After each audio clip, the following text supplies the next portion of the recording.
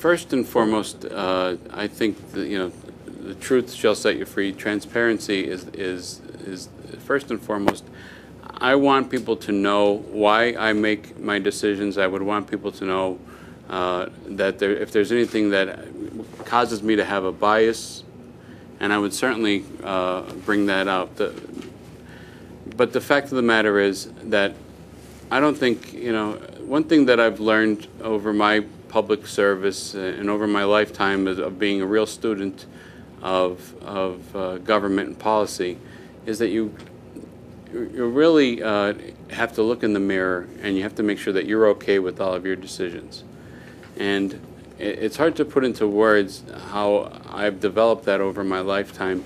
Uh, but I became a lawyer because I felt in, inside of me that there is a certain way that I feel that people deserve justice, people deserve to be treated fairly, and, and I have a, a, a problem with underdogs and people that are being victimized uh, not being helped. And, you know, uh, I was one of those kids that at, at the at lunch at lunchtime at Pittston area, uh, I'd get a pass. It was 1973, May of 1973. I could tell you exactly how old. I know I was 11 years old at the time.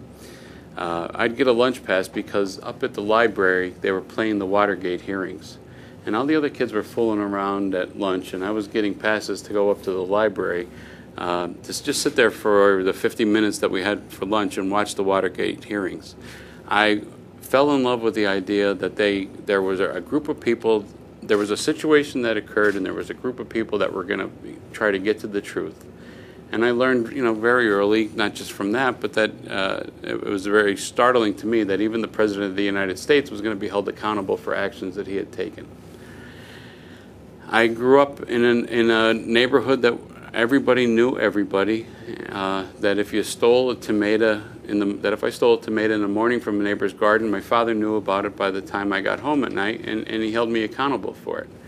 Um, I I don't think uh, I think that the problem in Luzerne County, uh, you know, as as uh, Bill Clinton said, uh, what is what is wrong in America could be fixed by what is right in America. What is wrong in Luzerne County will be fixed by what is right in Luzerne County.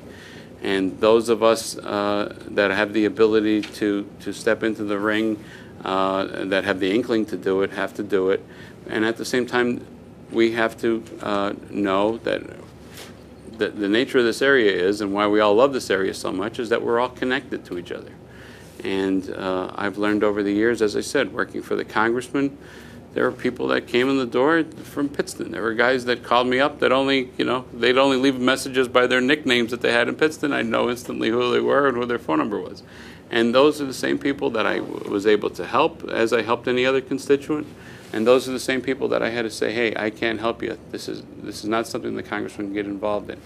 I've been tested over my life uh, with situations like that, and I believe in my heart that I've come through them just fine. So uh, that's how I'll do it.